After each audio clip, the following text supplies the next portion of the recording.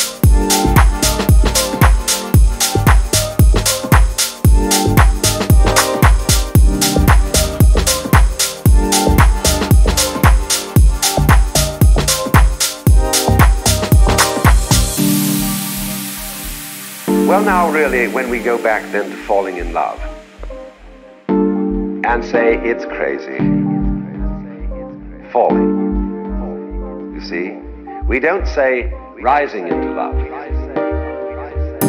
There is in it the idea of the fall. And uh, it is goes back, as a matter of fact, to extremely fundamental things. That, that there is always a curious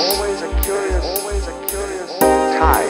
some point life. You see, for all, the life is an, an act of faith and an act of gamble. The moment you take a step, the moment you take a step.